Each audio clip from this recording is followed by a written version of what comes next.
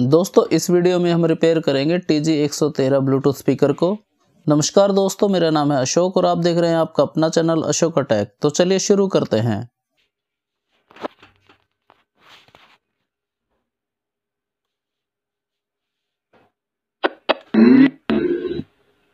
Bluetooth mode.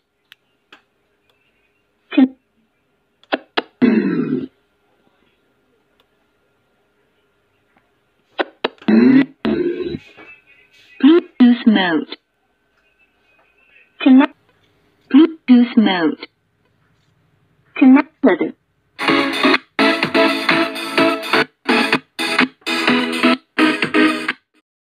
दोस्तों, जैसा कि आपने देखा स्पीकर में फॉल्ट ये है कि तेज आवाज़ पर इसका साउंड रुक रुक कर आता है मेरे एक व्यूअर ने भी मेरे पास एक वीडियो बनाकर भेजी अपने स्पीकर की उसमें भी लगभग यही फॉल्ट है तो ये वीडियो उनके लिए भी है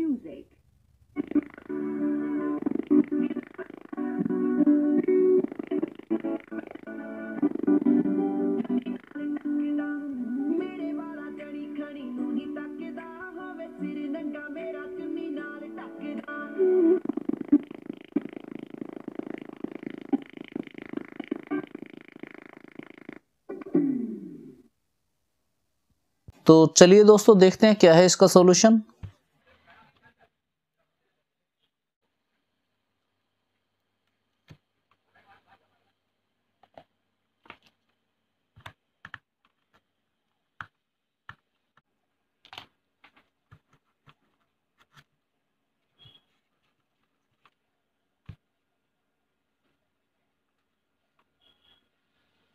दोस्तों, पहली नज़र में ये फॉल्ट ऐसा लगता है जैसे ज़्यादा साउंड करने पर बैटरी की वोल्टेज कम पड़ जाते हो लेकिन ऐसा होगा नहीं, क्योंकि वैसे केस में बैटरी की वोल्टेज कम पड़ते ही स्पीकर शट डाउन हो जाएगा फिर भी हम एक बार वोल्टेज चेक कर लेते हैं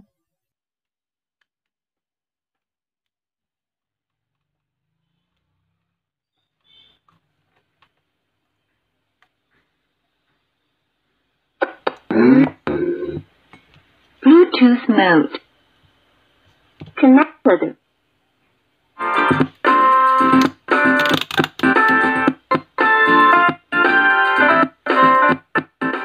दोस्तों, जैसा कि आप देख रहे हैं वोल्टेज कुछ खास कम नहीं हो रहे हैं। ये 4.2 या 4.1 वोल्ट के आसपास है, जबकि ये स्पीकर 2.8 वोल्ट तक भी सही काम करता है। इसका मतलब वोल्टेज की प्रॉब्लम तो नहीं है। दोस्तों, इसके बाद ये फॉल्ट लगता है साउंड एम्पलीफायर आईसी का। तो पहले आईसी के सारे वोल्टेज चेक कर लेते हैं।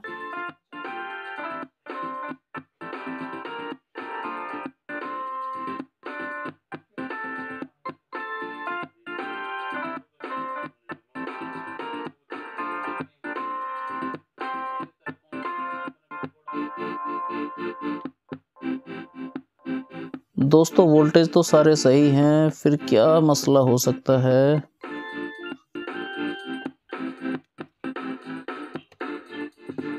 देखिए दोस्तों, जैसे ही मैंने एक स्पीकर का कनेक्शन हटाया, वैसे ही दूसरा स्पीकर सही बजने लगा।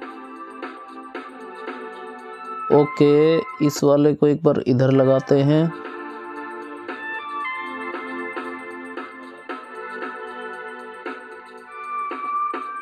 ये स्पीकर दोनों सॉकेट में सही बज रहा है।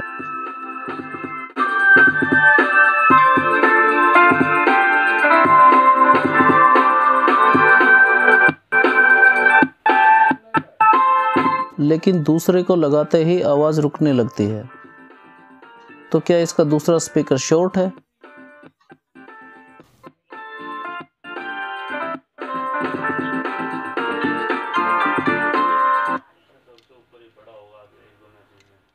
एक बार सिर्फ़ दूसरे को ही लगाकर देखते हैं।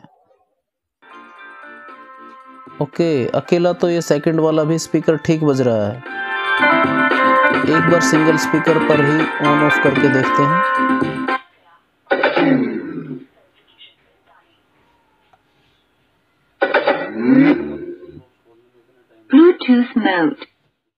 जी हाँ देखा आपने आवाज़ बिल्कुल नहीं कटी।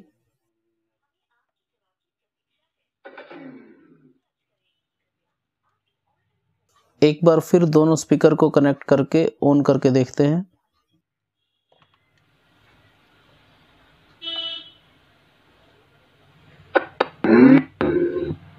देखा दोस्तों, फिर से आवाज़ अटकने लगी।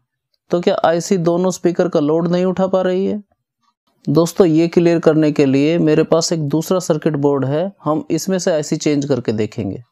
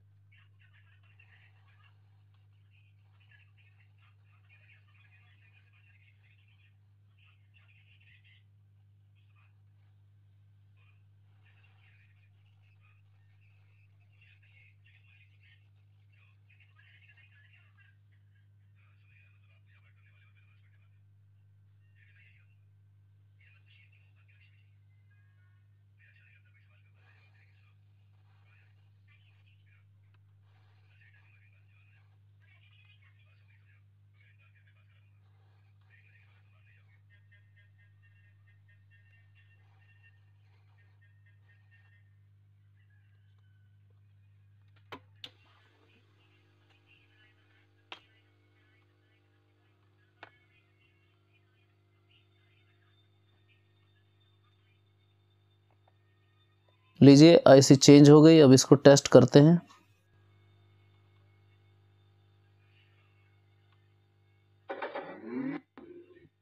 नहीं दोस्तों, कोई फ़ायदा नहीं हुआ, आवाज़ अभी भी अटक रही है। अब क्या? अब ये सिर्फ़ ब्लूटूथ आईसी बची है, इसको भी चेंज करके देख लेते हैं।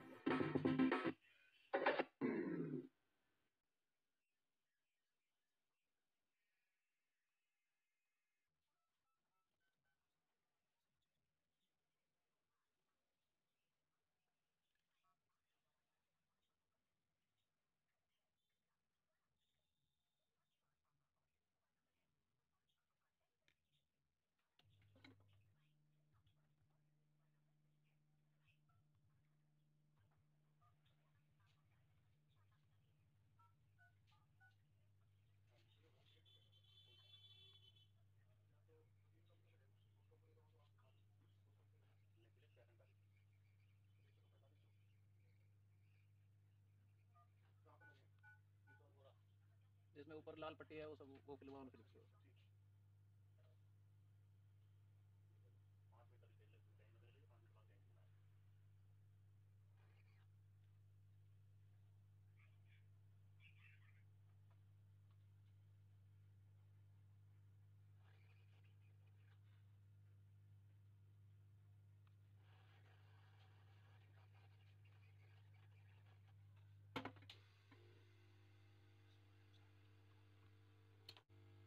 ओके, अब फिर से टेस्ट करते हैं। नहीं दोस्तों, अब भी आवाज़ कट रही है। दोस्तों, अब तो बस ये छोटे छोटे कैपेसिटर ही बचे हुए हैं, इन्हीं को टेस्ट करना होगा।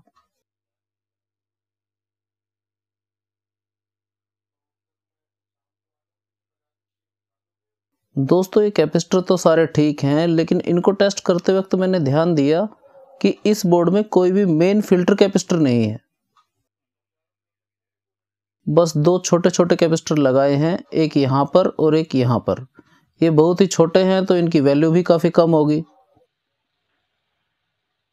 तो मैंने ये कैपेसिटर नेगेटिव और पॉजिटिव के बीच में टच करके देखा तो आवाज़ सही आने लगी। दोस्तों, ये फ़िल्टर कैपेसिटर 100 एम से लेकर 470 एम तक कोई भी चलेगा, और इसकी वोल्टेज होनी चाहिए 10 वोल्ट से लेकर 25 वोल्ट तक।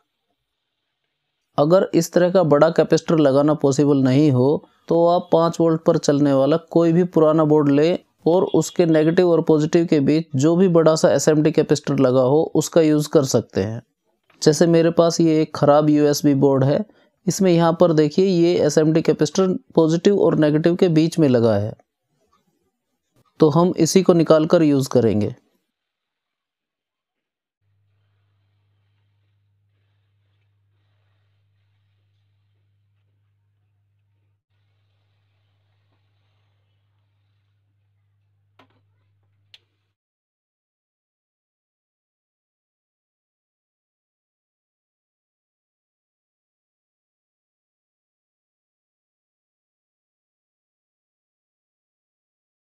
ये देखिए ये मैंने बैटरी के कनेक्टर पर ही नेगेटिव और पॉजिटिव के बीच में कैपेसिटर लगाया है।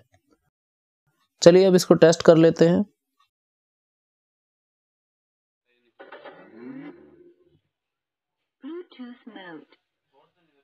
Connected.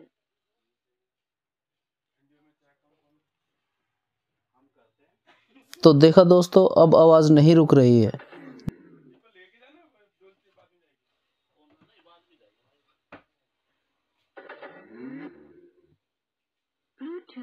Bluetooth mode.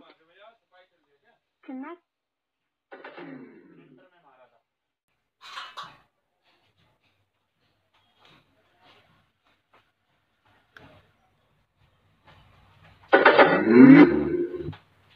Bluetooth mode.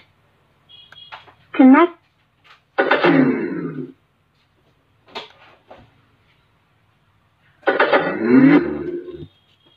Bluetooth mode. Connected.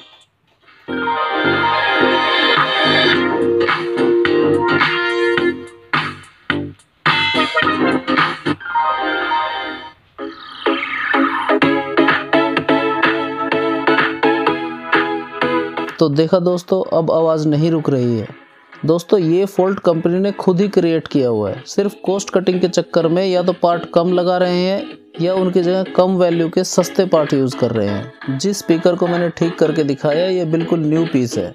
इसमें नए में ही ये प्रॉब्लम थी।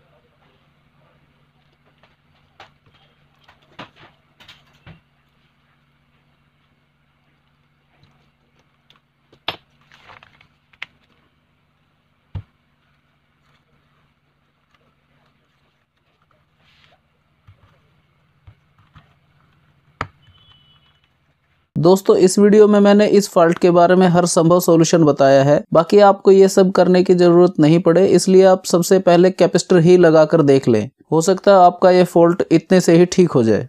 अगर आपको एस एम कैपेसिटर ना मिल पाए तो मैं आपको दिखा देता हूँ कि नॉर्मल कैपेसिटर भी इसमें लगा सकते हैं। ये देखिए, यहाँ पर लगा हुआ है इसका चार्जिंग डायोड चार्जिंग जैक से सीधी सप्लाई इसके एनोड पे जाती है, फिर कैथोड से होते हुए पूरे सर्किट में जाती है। तो आपको कैपेसिटर लगाना है इसके कैथोड से ग्राउंड पर। तो इसकी पॉजिटिव वाली लेग हम डायोड के कैथोड पर सोल्डर करेंगे।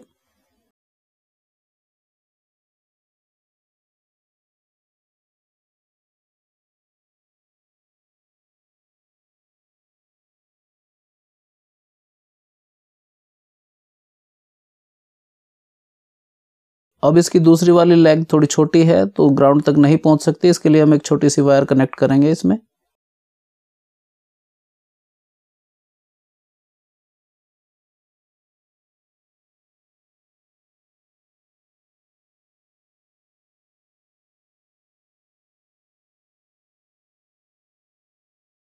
तो इस तरह से आप नॉर्मल कैपेसिटर भी इसमें लगा सकते हैं।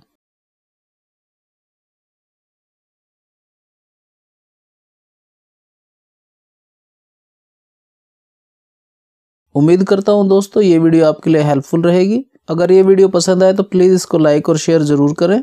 अगर आप हमारे चैनल पर नए हैं तो प्लीज़ हमारे चैनल को सब्सक्राइब करें और साथ ही साथ बेल आइकन भी दबाएँ ताकि आने वाले समय में मैं जो भी वीडियो अपलोड करूँ, उसकी नोटिफिकेशन आपको सबसे पहले मिल सके। अच्छा दोस्तों, अगली वीडियो में आपसे फिर से मुलाकात होगी। तब तक के लिए जय हिंद, वंदे मातरम।